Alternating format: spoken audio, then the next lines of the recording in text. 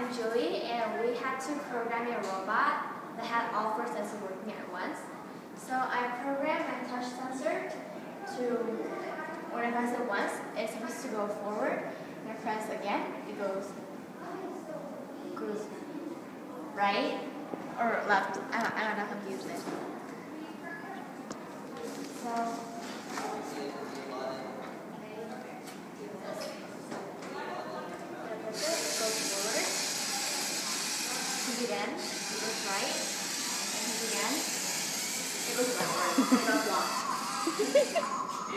so that just um, that going back just demonstrated my ultrasonic sensor.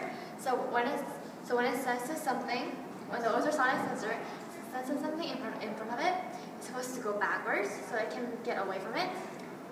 Also, Can you show us one more time with the ultrasonic? yeah. Okay. So, if I put my hand in front of the ultrasonic sensor, it's supposed to go backwards like this. Nice.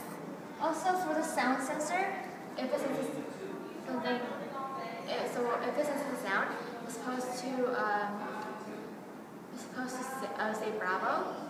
So, right I tap, is this is bravo.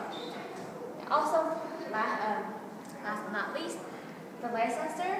So, my light sensor is supposed to show the Z sign as it shows it now when, when this is something dark.